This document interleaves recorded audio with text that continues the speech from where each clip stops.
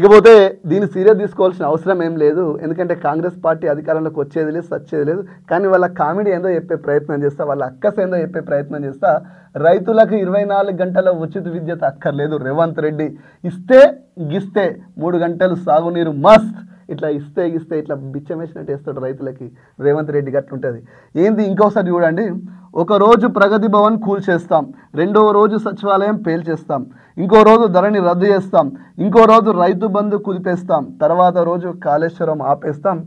తాజాగా తాజాగా నిన్న ఇరవై నాలుగు గంటల విద్యుత్ అవసరం లేదు. విద్యుత్ని రైతులకు ఇచ్చే ఉచిత విద్యుత్ని కుదిస్తాం.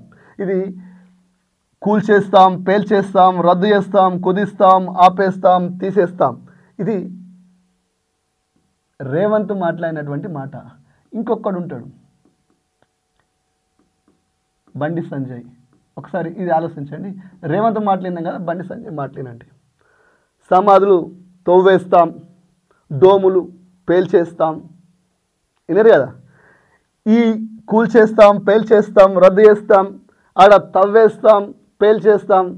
స్క్రిప్ట్ రైటర్లు నాకు తెలిసి రేవంత్ రెడ్డికి బండి సంజయ్కి ఒక పెద్ద మనిషి ఛానల్లో పనిచేసిన పెద్ద మనిషి స్క్రిప్ట్ రైట్ రాసిస్తున్నట్టుండు ఎందుకంటే ఇది బీజేపీ డ్రామా కాంగ్రెస్ పార్టీ ఈ వారం రోజులలో కొంచెం హైప్ వస్తుంది. ఈ హైపు రాగానే బీజేపీ కోవట్టుగా ఉన్న రేవంత్ రెడ్డి వెంటనే ఈ స్టేట్మెంట్ ఇచ్చిండు. కాంగ్రెస్ని ఇరికాటంలో పడేయాలి. ఎందుకంటే రేవంత్ రెడ్డి భారతీయ జనతా పార్టీ కన్సర్నల్లో పనిచేసే కాంగ్రెస్ పార్టీ అధ్యక్షుడు. అంతే ఇంకేం లేదు. ఇది వాస్తవం.